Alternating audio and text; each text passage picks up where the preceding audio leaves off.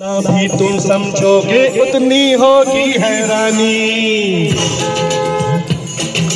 हम लोगों को समझ सको तो समझो दिलवर जानी। जितना भी तुम समझोगे उतनी होगी हैरानी। अपनी छतरी तुमको दे दे कभी जबर से पानी।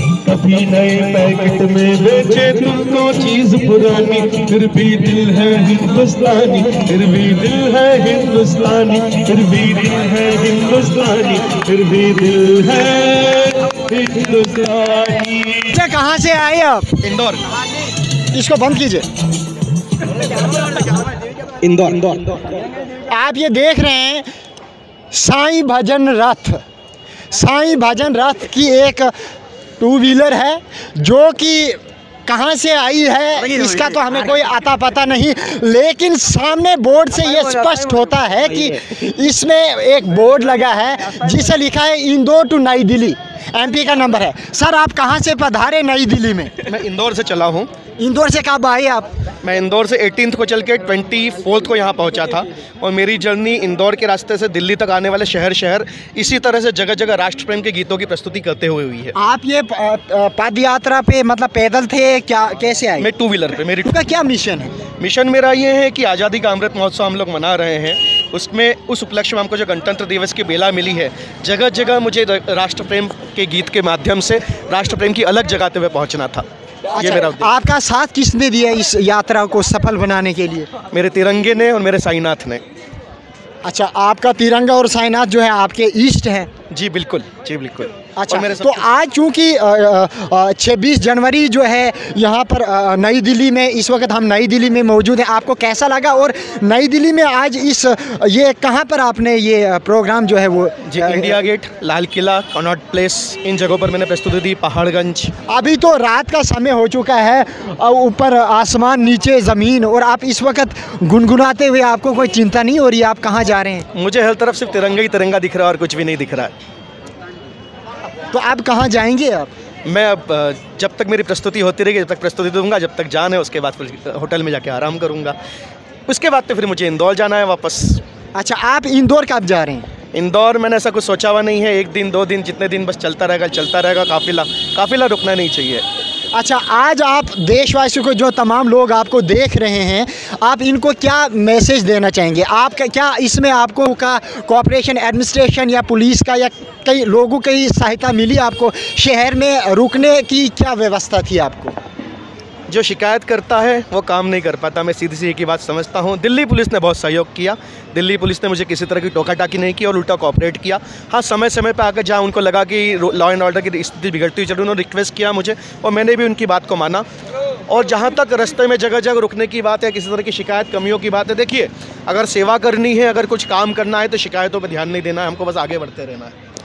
ये देखिए आप ये इस वक्त वी डी न्यूज़ नई दिल्ली के पहाड़गंज इलाके में मौजूद है जो हमारे पास कुछ विदेशी टूरिस्ट भी हैं उनसे भी संपर्क करना चाहेंगे कि उनको ये पद यात्रा जो है कैसा लगा। So bro what's your name my name is Mohammad Noor so so you are along with good music good so do you understand do you understand this music good music what was the mission of this daily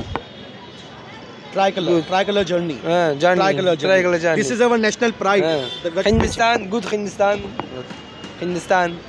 so uh, how how uh, upload how would you explode India especially for today No English speaking.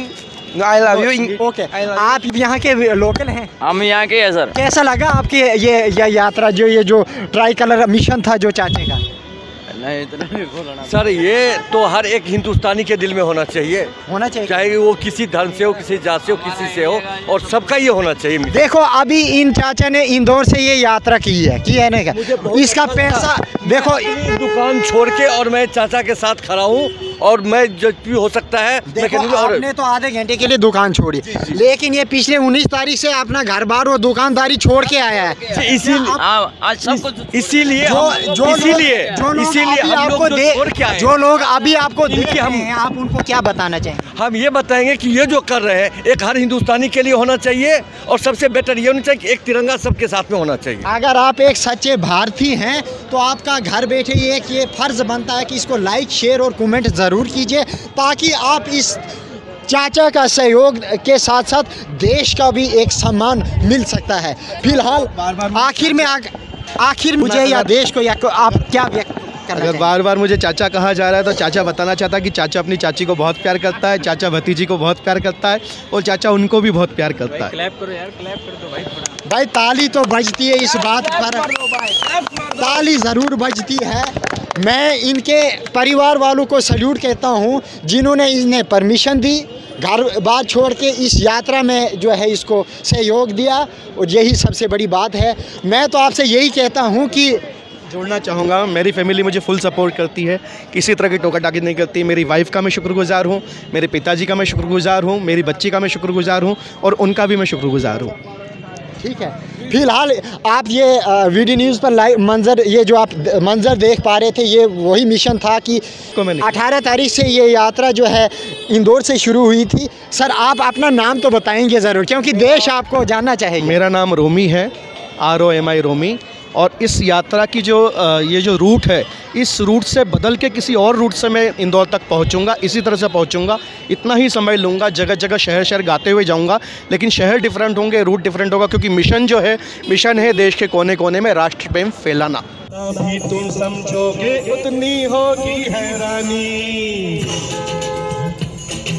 हम लोगों को समझ सको तो समझो, दिलवर जानी। जितना भी तुम समझोगे उतनी होगी हैरानी अपनी छतरी तुमको दे दे कभी जो बरसे मिशन देश के हर कोने में राष्ट्र प्रेम को फैलाना और अभी नए रास्ते से ये अब जो है इंदौर घर वापसी करेंगे। एक तरफ़ जैसे आप चूँकि देख रहे हैं कि भारत जोड़ो यात्रा राहुल गांधी जो है कश्मीर से राजनीति नहीं नहीं ये सर वो अलग है सर। राजनीति का मतलब नहीं मतलब नहीं है सर इसमें। ब्लॉगर ब्लॉगर ब्लॉगर तो ये भावना होती है सर आप अपनी भावनाएँ आपकी जो भी भावनाएँ आप वो कमेंट बॉक्स में ज़रूर दीजिएगा। फ़िलहाल मैं तो आज आप सभी लोगों को और देशवासियों को जय हिंद कहना चाहूँगा। मेरी तरफ़ से मैं मेरी फैमिली को एक बार फिर से सपोर्ट करना चाहूँगा। फैमिली मेरे से बहुत सपोर्ट करती है। थैंक यू सो मच और उनका भी बहुत थैंक यू बोलना चाहता हूँ। उनको भी बहुत बहुत थैंक यू थैंक यू जय हिंद।